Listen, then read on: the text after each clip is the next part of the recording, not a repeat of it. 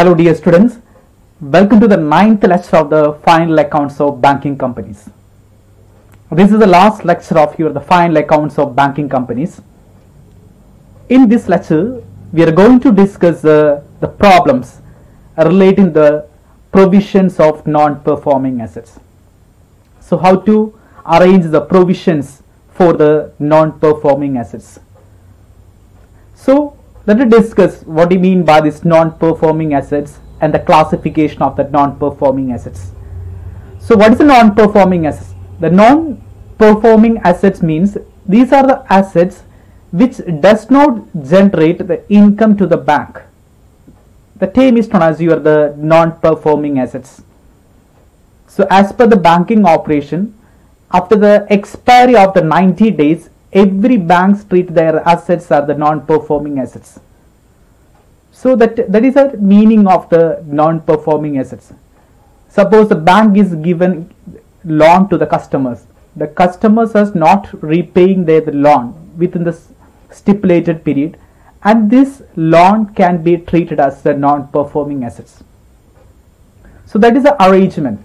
So non-performing assets, so that's a NPA. The non-performing assets known as NPA is a loan or advances which the principal or the interest payment remain overdue. This is the remain overdue for a period of 90 days.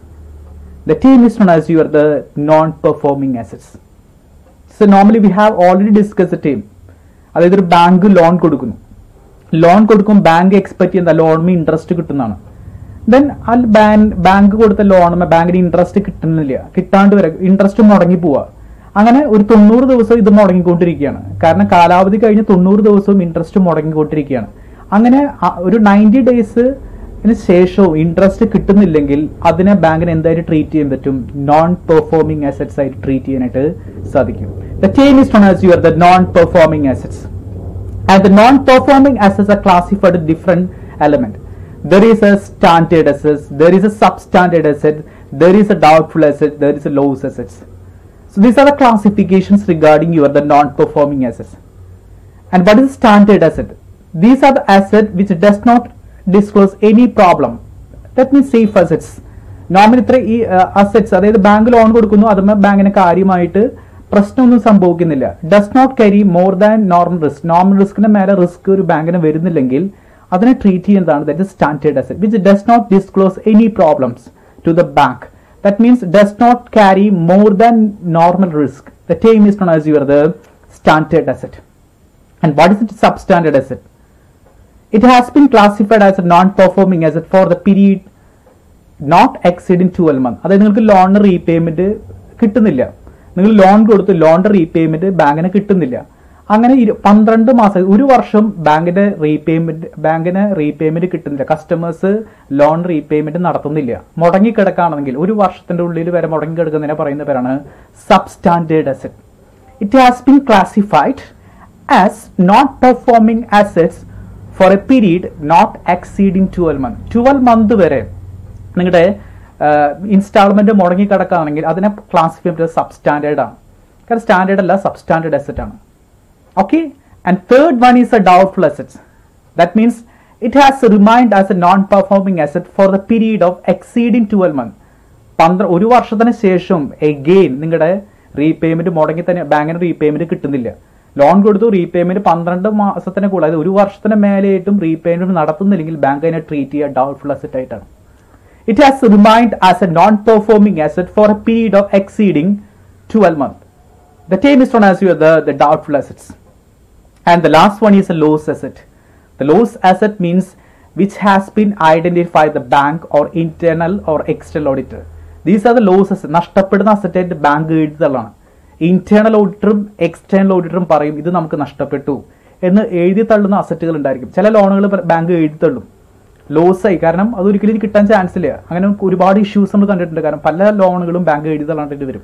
അങ്ങനെ വരുന്ന അസറ്റുകളാണ് loss asset these are the classifications regarding the non performing assets there is a standard asset and there is a sub standard asset there is doubtful assets and last one is loss asset standard asset means which does not disclose any problem to the bank. That is term is known as your standard asset.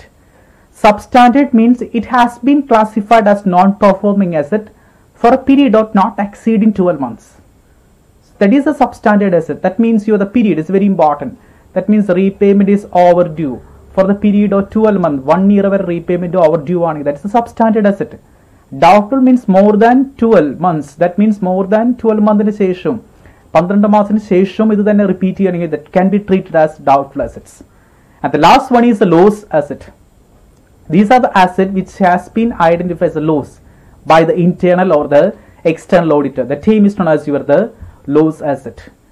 And we are discussing the provision അതുകൊണ്ട് അസറ്റുകൾക്ക് non performing assets ഉണ്ട്. ഒരു ബാങ്കിന്റെ മനസ്സിലാക്കിയ bank അതിനനുസരിച്ച് provisions maintain ചെയ്യും.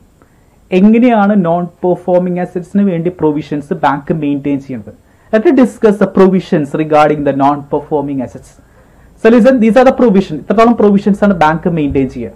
Suppose substandard asset the bank is maintain the provision is point four zero percentage listen the substandard category, the bank is maintaining the provision is a 0.4 percentage. Suppose the substandard category, standard ആണെങ്കിൽ point four percentage ആണ്. Suppose substandard രണ്ട് category ഉണ്ടായിരിക്കും സെക്യൂർഡും unsecured ആയിരിക്കും. ചിലപ്പോൾ നിങ്ങളുടെ അടുത്ത് പറയാം സെക്യൂർഡ് ആണ്. ചിലപ്പോൾ അൺസെക്യൂർഡ് നോർമലി തന്നിട്ടില്ലെങ്കിൽ സെക്യൂർഡ് ആയിട്ട് നമ്മൾ അസ്യൂം ചെയ്യും. അൺസെക്യൂർഡ് ആണെന്ന് പറഞ്ഞാൽ നമ്മൾ അങ്ങനെ തന്നെ ട്രീറ്റ് ചെയ്യണം.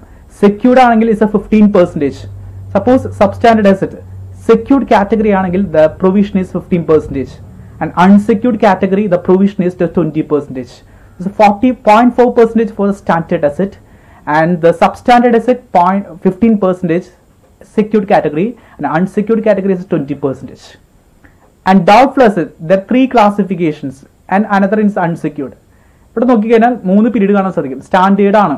ഇവിടെ സെക്യൂർഡ് അല്ലെങ്കിൽ അൺസെക്യൂർഡ് ആദ്യം പറയുന്നത് സെക്യൂർഡ് ആണ് four secured four one years is A twenty five percentage one to three years the provision is 40 percentage more than three years the bank is maintaining the 100 percent that is the arrangements of the doubtful asset there are three important period for one year the provision is 25 one to three years the provision is 40 percentage more than three years the provision is a 100 percent these are the important provisions regarding the doubtful asset doubtful de- assets and and one more is the unsecured. Suppose you are the doubtful assets unsecured category.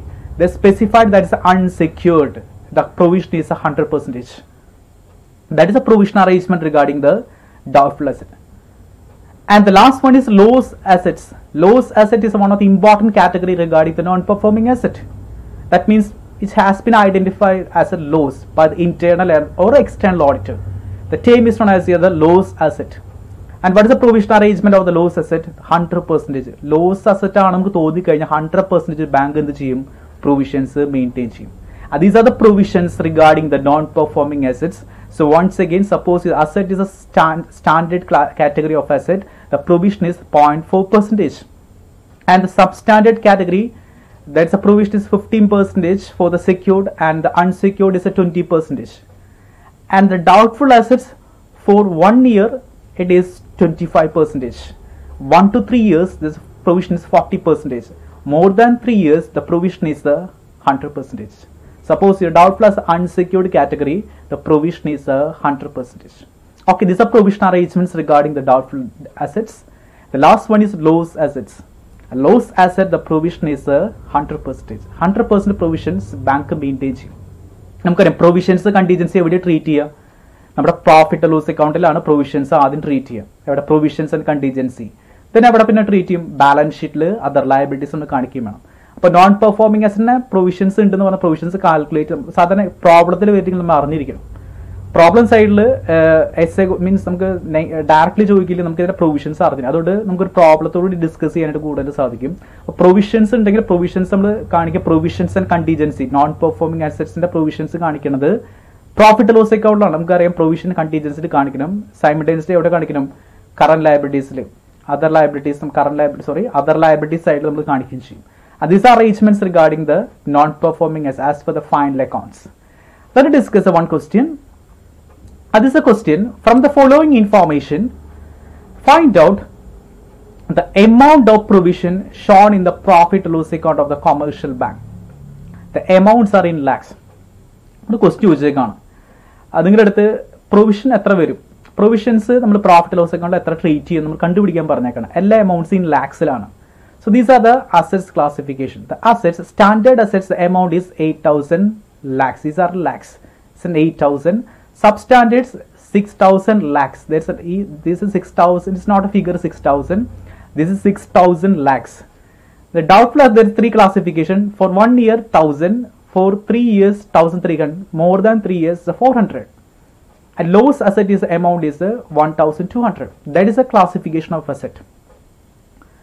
So you are, you are required to find out the amount of the provision shown in the profit and loss account. നിങ്ങളോട് ചോദിക്കണം എത്ര amount ആ provisions അവിടെ വരാം there is classification there is assets standard substandard doubtful and the loss asset So you must familiar these provision അപ്പോൾ അങ്ങനെയാണെങ്കിൽ പ്രൊവിഷൻസിന്റെ percentage നമ്മൾ അറിഞ്ഞിരിക്കണം. അത് എപ്പോഴും നമ്മൾ അറിഞ്ഞിരിക്കേണ്ട ഒരു കൺസെപ്റ്റാണ് പ്രൊവിഷൻസ് കണ്ടുപിടിക്കാൻ പറഞ്ഞാൽ പ്രൊവിഷന്റെ percentage suppose standard asset what is a provisions for standard asset is a point four percentage that's a provision for standard asset suppose substandard substandard secured category and unsecured അപ്പോൾ സെക്യൂർഡ് നോർമലി തന്നിട്ട് secured ആയിട്ട് assume ചെയ്യും. Unsecured എന്ന് പറഞ്ഞാൽ മാത്രം അൺസെക്യൂർഡിനെ കുറിച്ച് ചിന്തിച്ചാൽ മതി.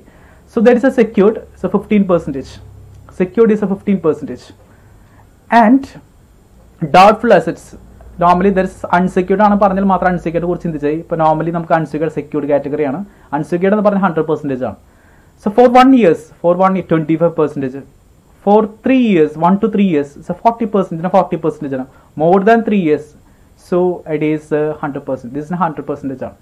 Loss asset what's loss asset hundred percentage there is a provision arrangement ഇതാണ് പ്രൊവിഷൻ അപ്പോൾ ആ അസറ്റിന് ഇത്ര പ്രൊവിഷൻസ് നമ്മൾ മാറ്റി വെച്ചിരിക്കണം. അപ്പോൾ നമ്മുടെ മനസ്സിൽ ആ പ്രൊവിഷനാണ് ഈ ഫിഗേഴ്സിന് ഓർമ്മയിൽ വരേണ്ടത്. The standard asset it's an eight thousand provision is point four percentage and substandard six thousand so normally secured category fifteen percentage and doubtful it for one year that is twenty twenty five percentage for three years it is forty 40 and more than three years the provision is hundred is 100 percentage. And unsecured is 100 percentage suppose loss asset the provision is uh, 100 percentage so find out the provisions. As a provision so first you write the assets. There is a standard substandard doubtful. Doubtful three category for one year three years and more than three years. Okay? And there is a loss asset. And write the amounts. Standard asset there is 8000 the substandard asset the amount 6000 doubtful for the one year the amount is 1000 for three years the amount is 1600 for more than three years the amount is 400 and lowest asset the amount is 1200 there's a 1200 okay this is the amounts also given in the questions. So that is the logic. The first you write the assets and write the amount. These amounts are in lakhs. All the amounts are in the lakhs. So these are the amounts in lakhs. And find out the provisions. So already familiar with the provision. Standard asset what is the provision 0.4 percentage and substandard asset 6000 so provision is a 15 percentage. There's a 15 percent is a provision. Then doubtful for the one years. For the one years 25 percentage. Okay? Then three years. Three years that is 40 percentage. Okay? Then more than three years. The more than three years is a hundred percentage. Okay? And the last one is a loss asset loss asset the provision is a hundred percentage so that is provision the find out the provision amount percentage of provisions that is one of third step so അപ്പോൾ നിങ്ങൾ ചെയ്യുന്നത് provisions ഓരോ എമൗണ്ടിനും correspond ചെയ്ത് വരും നമ്മൾ identify ചെയ്ത് വെക്കണം ഇത് ഓൾറെഡി നമ്മൾ മനസ്സിലുണ്ടാക്കി ഇത് കാണപ്പെടെ പറഞ്ഞിരിക്കേണ്ടതാണ് ബൈ ഹാർട്ട് ചെയ്ത് അറിഞ്ഞിരിക്കേണ്ടതാണ് okay then after that find out the percentage of amount so 8000.4 percentage that means 32 32 lakhs then 6000 15 percentage that's a 900 lakhs. And 100 25 percentage that is a 250 250 lakhs. And 1640 percentage that is 640 lakhs. 400 100 percentage is a 400 lakhs. Then 1200 100 percent 1200 lakhs. So these are the provision amount these are the percentage of the provisions the already given already given the statute so already specified in the statute these are the statute and these are the amount based on the amount these are the uh, provision amount based on the total amount ഇതാണ് total amount ആയിരുന്നത് അതിന്റെ provision percentage vice ഉള്ള എമൗണ്ടുകളാണ് എഴുതി and take the total this total is three four two to 3,422 lakh. That's the total provisions maintained by the bank this the provision ഇങ്ങനെയാണ് provisions calculate ഈ പ്രൊവിഷണർ എവിടെ കാണിക്കുക? This provision is shown on the profit loss account that means profit loss account provisions and contingencies amount three four double two this amount നമ്മൾ ഇവിടെ കാണിക്കും? Profit loss account കൊണ്ട് കാണിക്കും. Okay that is arrangement for the calculation of the provision provisions for the non performing assets. So let me conclude the first we discuss what you mean by the term is uh, non-performing assets. The non-performing asset means these are assets which does not generate the income to the bank. The term is known as your the non-performing assets. And these are the different categories of the non-performing assets. There is a standard there is a substandard there is a doubtful. The last one is a loss asset. Okay? And these are the provisions regarding the non-performing assets. Suppose standard category is 0.4 percentage. Substandard suppose secured 15 percentage unsecured 20 percentage doubtful for 1 to 3 years. Sorry for the 1 year 25 percentage. 1 to 3 years the 40 percentage. More than 3 years 100 percentage. Suppose unsecured category the provision is a 100 percentage. Okay the loss asset the provision is a 100 percentage. And this is a question find out the provisions regarding your the assets. And these are the assets standard substandard doubtful and the loss asset.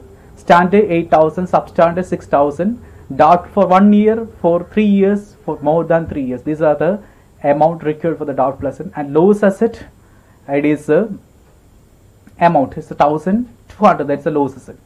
And how to calculate the provisions? The provision point first you write the assets and write your amount and find the percentage of provision. Standard 0.4 percentage substandard 15 percentage. For one year 25 three years 40 and more than three years 100 that is a doubtful assets loss assets the provision is 100 percentage. Okay so then take the amount and calculate the amount based on the percentage. And these are the amount and take the total. The total is 3422 that is the total provisions regarding your the non-performing assets. This amount shown on the provisions and contingency under head of the profit and loss account. Okay and these are the important calculations regarding your the non-performing assets. Anyway thank you.